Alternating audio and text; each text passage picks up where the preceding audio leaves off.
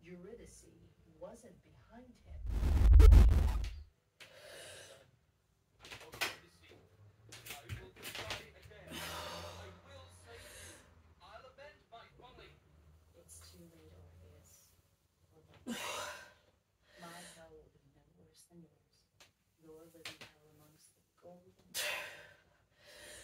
I'll be surrounded by the darkness of death, but you'll carry grief and regret for the rest of your life.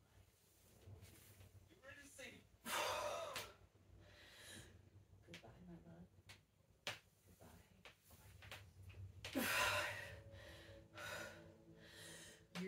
Eurydice receded into the eddying mists of Hades as the heavy shroud of death descended once again. And Orpheus let out a great sob as the full weight of his devastated. He shivered, cold and